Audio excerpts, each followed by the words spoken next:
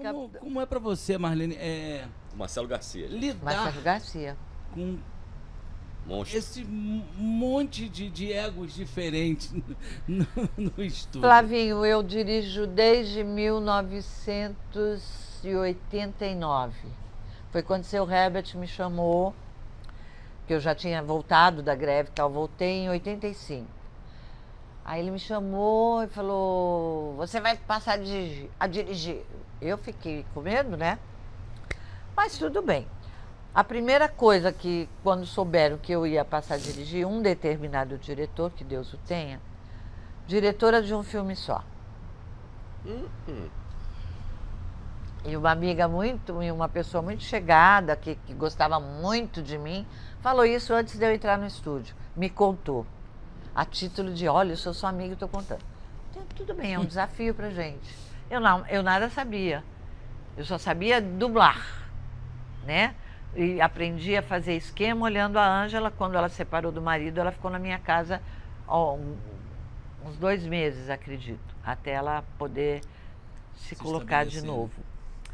E eu aprendi ali, ainda falei pro seu Herbert, seu Herbert, eu não sei direito fazer esquema. Não, você vai, você vai. E fui, meti a cara. A pessoa que falou que eu seria diretora de um filme só, todos os bonecos dessa pessoa sempre caíram na minha mão. Hum. Para quem não sabe o que é boneco, são artistas que a pessoa dubla, tá? É, a gente chama, chama de boneco. Caíram na minha mão. E eu pensei assim, como que eu vou fazer com que eles me, me respeitem? Com jeito, sabe? A- o, o- o diretor de dublagem, ele tem que ter psicologia também. Ele tem que ser psicólogo, ele tem que ser pedagogo, para ensinar determinadas coisas. Ele tem que saber se impor sem ser. Ele tem que saber se impor. Não, não gostei. Vamos fazer de novo, por favor? Ah, essa eu gostei. Essa tá legal. Uh, maravilha! Loop aberto, aplaudo em loop aberto. E assim eu fui.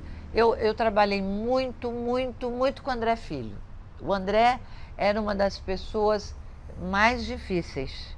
E comigo, e foi com ele que eu aprendi. Com o André. É. É, eu aprendi com ele, tratando o André. Entendeu? Porque o André era muito difícil, mas era o melhor profissional que eu já trabalhei. Como profissional era fantástico. Como dublador, como pessoa, comigo. Ele de repente se encheu de amor e assim veio. Gente, veio um, veio outro, veio outro, e assim eu fui. Do jeitinho que eu pedia, com jeitinho. Eu falava como é que eu queria, sabe? E ele, todo mundo, ah, não, tudo bem. Sabia o que eu não deixava, eu, eu ficava em cima. Não, não gostei, vamos outra. Faz outra para mim, por favor. Vamos lá. E, e assim foi. Ele, eu fui cativando e, e, e provando às pessoas que eu podia ensinar um pouquinho, né? Para o trabalho ficar melhor, né? Para o trabalho ficar melhor. É Porque porque tem pessoas que o não interesse entendem. nosso é esse, É, né? Exatamente, É, você não, só quer que fique bom. não vai deixar a pessoa fazer um trabalho errado e ir embora de qualquer jeito. Não, mas tem algumas pessoas que. Eu digo. Eu Que já digo, entram de costa no estúdio querendo ir Comigo, não. Eu digo, olha, vou ouvir, tá? Vamos ouvir, tá? Vamos ensaiar É mais tá. uma vez, né? Ensaia de Tá. novo, por o favor. Tá. Vou evitar o tá. Ó, o tá. Ensaia É o tá. mais uma vez, por favor. Cê- Por que não é melhor? É porque as pessoas vêm trabalhar comigo e querem mostrar serviço. Olha, eu sou rápido. Para mim, não é mostrar serviço, gente. Mostrar serviço é você mostrar um bom trabalho, tá? Então veja uma, duas, três, quatro. Eu tenho, eu tenho dubladores que vê, eles vêm cinco vezes. E aí? E sai perfeito. Eu fico de cara feia porque viu cinco vezes? Não, eu faço o meu esquema largo.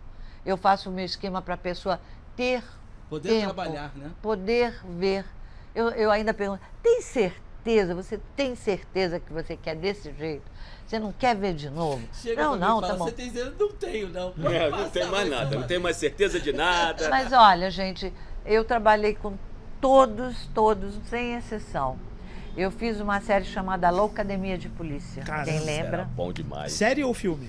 Eu fiz o filme e a E série. depois a série.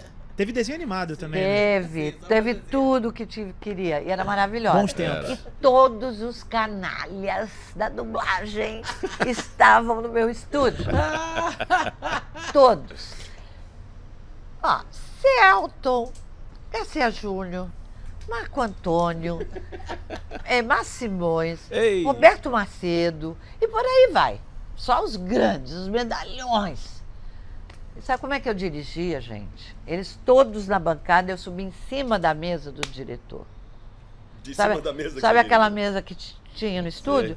Eu subi ali para eu ver todos. Como eles diziam, "Ela- ela tem olhos de lince, ouvidos de águia. É, é. eu, eu digo, não é o contrário? Eu acho que olhos de águia e ouvidos de lince, eu falava com ele.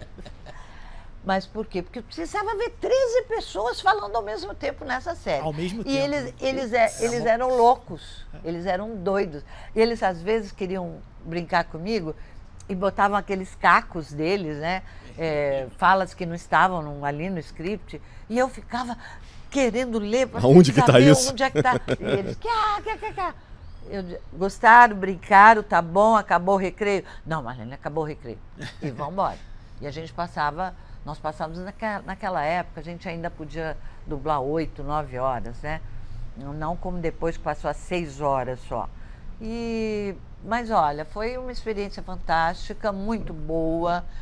É, eu só tenho lembranças maravilhosas. Mário Jorge, esqueci de falar Mário Jorge, Mário Jorge estava lá.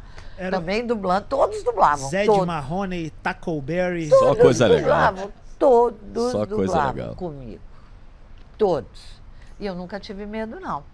Mauro Ramos, olha, só medalhão, só medalhão. Mas é, eu acho que eu consegui me ajeitando com o meu jeito, entendeu? De, de saber pedir as coisas, de, de não ser chata, não é pedir o, o- Porque tem algumas pessoas que não têm segurança. Então ficam pe- pegando, pedindo coisas que. Não é o pedir por pedir, É, né? Não, era É. uma coisa para o trabalho ficar melhor. necessidade, é claro. O trabalho ficar melhor. Fala galera, pra lembrar que esse aqui é o canal de cortes. O canal oficial é o Versão Rubro Negra e o link tá na descrição.